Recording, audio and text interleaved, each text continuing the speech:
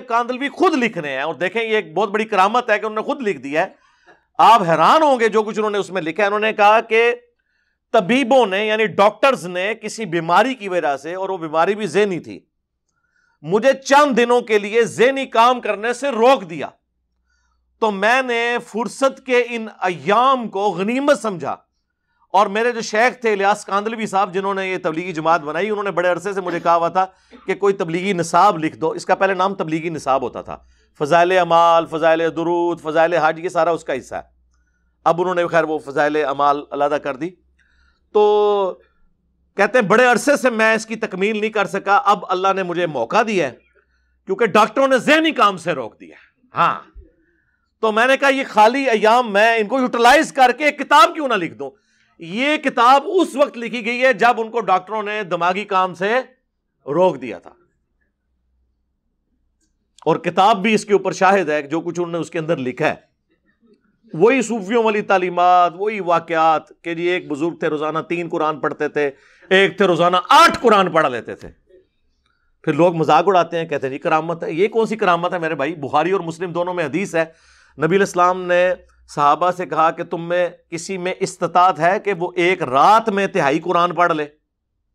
साहबा ने कहा यारसुल्ला ये इस्तात किसमें होगी? सवाए बुजुर्गान दीन के। हम्म, ये मैं ब्रैकेट में कह रहा हूँ। तो आपने फरमाया सूरत इखलास पढ़ लो ये तिहाई कुरान के बराबर है। सूर इखलास। यानी साहब कराम एक रात में तिहाई कुरान पढ़ने से आजिज हैं जैसा कि कुरान पढ़ने का हक है। तो बाबे तो शाही कोई नहीं। ਤੇ ਬੋਲਾਂਗੇ ਨਾ ਸੀ बाबे की तू अठ कुरान रोजाना ना पढ़ लेंगे ने और करामत क्या है कि ये कौन सी करामत है साहब कराम को तो ऐसी कोई करामत हासिल नहीं थी तो ये उसके अंदर लिखा हुआ है फिर उसमें लिखा है कि जी कुरान हकीम समझने के लिए आपको और फिर साथ बचने के लिए साथ कुरान की तफसीर के लिए और तफसीर को छोड़ दो कुरान तो सीधी सीधी तस्कीर है वह कुरान बिक वमम बलग नबी तुम फरमा दो, कुरान मुझे अल्लाह ने इसलिए वही किया कि इसके ज़रिए मैं तुम्हें भी नसीहत करूँ और जिस तक ये किताब पहुँचे। तो एज फार एज नसीहत इज़ कंसर्न दुनिया की सबसे आसान किताब कुरान है। उसकी वजह है कि ये एक मोची की भी ज़रूरत है, एक डॉक्टर की भी, एक रेडी बान की भी ज़रूरत है, एक इंजीनियर की भी, एक इंटेलेक्चुअल की भी ज़रूरत है, एक आम इंसान की भी, क्योंकि कामयाबी तो आखिरत की सबको चाहिए।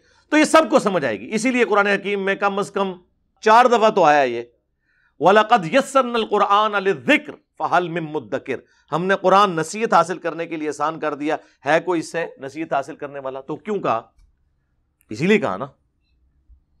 नसीहत हासिल करें। वो जी नहीं, वो तफसीर के लिए पंद्रह तफसीर कौन कर रहा है? और फिर चौदह लूम गिनवाने के बाद पंद्रवा उन्होंने लिखा, वह भी है। यानी गॉड गिफ्टेड। यानी आप चौदह तो कस्बी हैं जो आप कर सकते हैं, हासिल एक्वायर कर सकते हैं।